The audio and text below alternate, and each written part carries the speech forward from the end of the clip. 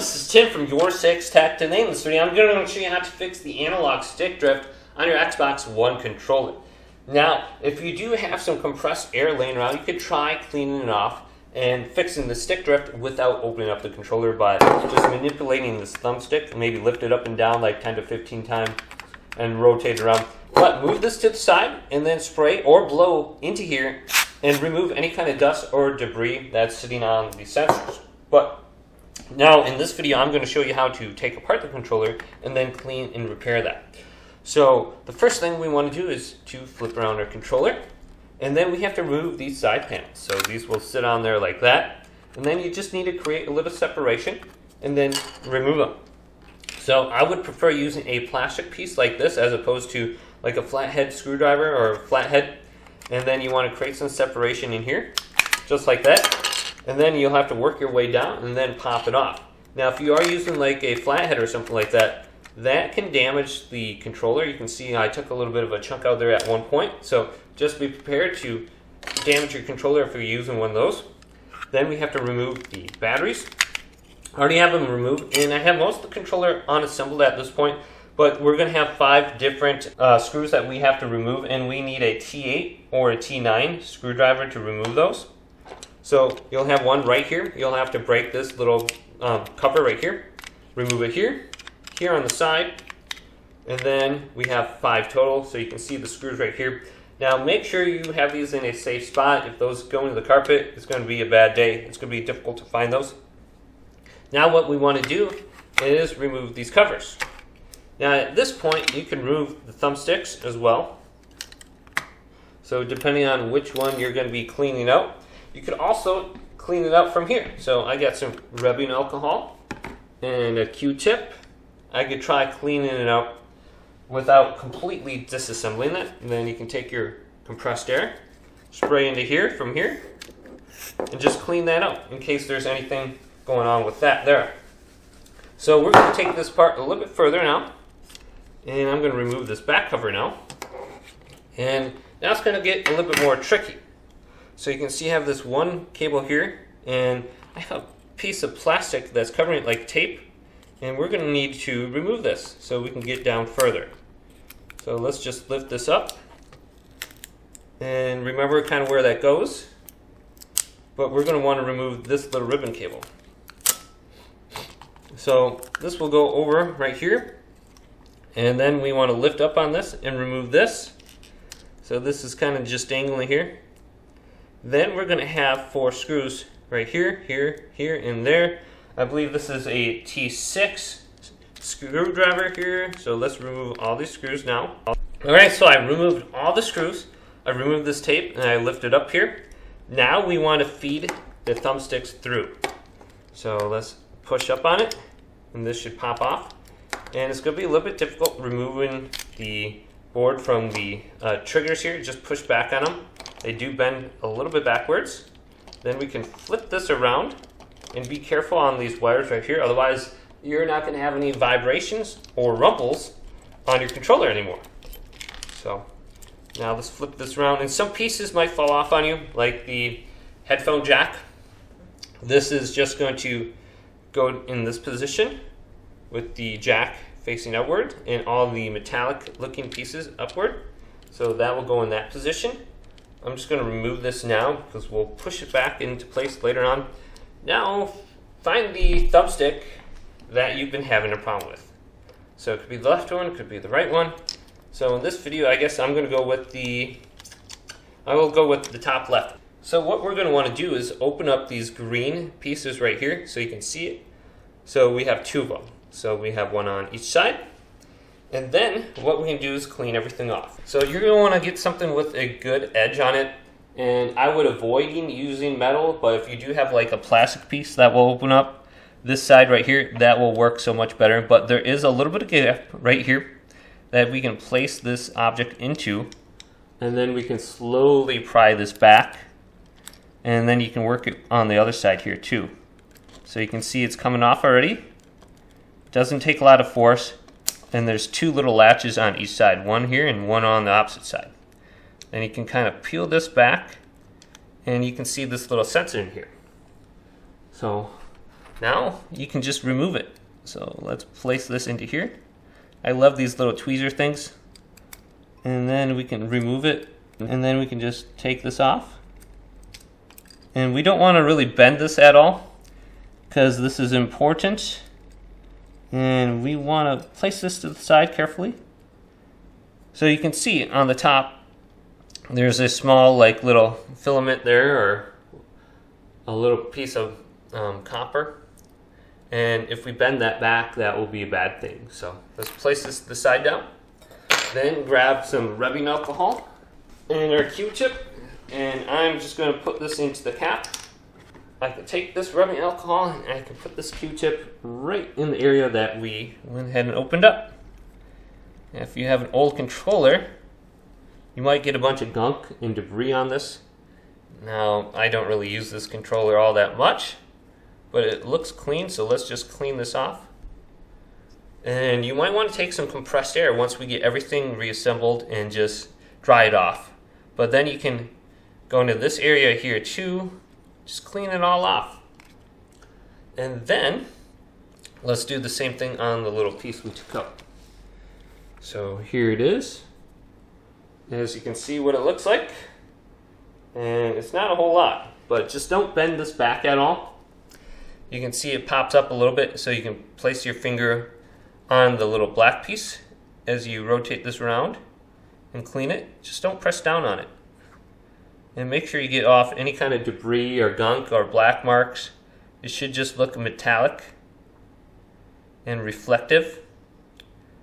Alright, so you might want to be a little bit more thorough than me, but we can place this back in now. So let's grab this. And here's the piece. And we want to place it in with the rounded part up. So it's going to look like this. So you're going to see like these two little metallic edges facing down. And then we can place in here and the black side should be facing us. So I have it in there and it's really easy to see on my camera because I'm zoomed in and then I want to rotate this vertical and then remove this device and you can see it's going to line up with the little white piece. So let's get it aligned right about there and then I should be able to close it. It looks like it's still locked. Alright, perfect. I have it seated well now. So that might take a little bit of tries just to line that well. And then we can close this little door. So let's close it up. And you're going to want to snap into place so it's closed completely. This may take a, a little bit of effort and some tries to get this seated well, but there's two little clips on the side here we want to clip in. So we might have to press on those and then snap it on. There we go. It's snapped in. So it seems like doing it with both fingers like this is the best to get both those sides to clamp back in. So now you can test this out and see if it's working well. And it may still stick on you like that. That is fine. The other side does that too. Until you get the thumbsticks back on, it's going to do that. So now let's reassemble the controller. So let's take this and flip it back around and then get it under the triggers. Boom, boom. Then reseat this back in. Now we do have this headphone jack that we want to place back in. So the metallic side facing upwards. Place it right here. And it should sit in there. If you don't have this connected properly, you won't be able to use your headphones at all. Wired. Now, we want to look at this and align it. And these two pieces right here, you can see the white pieces. Those need to be aligned correctly because you have to push it and seat that in together. So you have to push down on it once you have those seated in. Boom. So you're going to feel it and it's going to be connected. Now let's put in the four screws that we took out before and just clamp this down so it doesn't move around on us when we're reseating this little black piece. And you might want to actually bring this back up to the top here because it's difficult to see right there. So here it is. So we want this on the top as well. Boom, there it is. Now let's get those screws back in. Once again, this will be a T6, and you might have an issue with the vibrations right here, the rumble pack. Those might pop off on you, but you just have to seat them into place on the left or the right side. Okay, now the fun part. We have to put that little black cable back on the board. So we have to find out where we need to connect that. And you're going to be able to see where it connects because it's going to be this little circle right here. And that's going to be a little bit difficult to connect. And it seems like if you use your fingernail, that's going to be the best way to align it and then press down and then reconnect it. So let's just align it. And it's going to be very difficult to see, but that's what it looks like. So use your other hand, position it, push down with your fingernail. I was able to get it in by using my left finger right here and just position it and then pressing down with my fingernail. So you see this and it's going to be difficult. It might take you about 5 to 10 minutes to get that, but you eventually will. And then we can take this plastic piece and we can put it back over everything. So it kind of sat like this before. So let's just clamp this down. And I don't think it's really super important the way you put it back in. We just want to make sure that it's preventing this little cable from wobbling around and disconnecting. And on the Xbox Series X controller, uh, this is not on there. And if your controller is older, this little filament or tape it's probably going to be useless because it's not going to even be sticky anymore. So now we want to completely reassemble the controller. So let's get the covers, put those back on. So here's the front cover. And we can put our thumbsticks back on now. And at any point you want to replace your thumbsticks, it's so easy to do that. And then let's place these back in. Then place the front cover back on flip it over and then get the rear cover.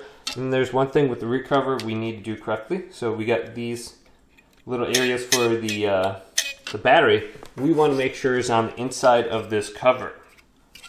So we have to align this and make sure both those are inside. So you can see they're going to be on the inside here. Sometimes you'll be placing this cover back on and they're on the the other side of the cover. And when you put all the screws in and you put your batteries in, you're like, oh, well, that's not going to work. So let's just align this now and then put all the screws back in. So you got one here, here, here, and here. So five total. And we are going to be using a T8 or a T9 security screwdriver now. All right, so here's my last screw. And make sure your screws are firmly tightened Otherwise, your cover is going to feel a little bit wobbly when you're moving around the controller. So you can look at all the gaps here and see if there's a huge gap between those or not, and just make sure everything is clamped down tight. Then you can put your batteries back in, and then you can put on the side cover. So let's just put these back in real quick, and then you can test out your controller to see if you have a battery connection. So we got that back on. Boom, let's put these covers back on. These covers should just snap down in place easy. The most annoying things about this is just having them on the wrong side and not realizing it. So snap it down. Then test out your controller. See if it's working now. But hopefully this quick little video did indeed help you out. If did, leave it a big thumbs up and subscribe to my channel down below. For more tech up videos coming up next on Your 6 Tech.